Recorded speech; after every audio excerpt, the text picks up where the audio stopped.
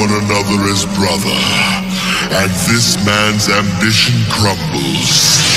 It is your destiny to face your death.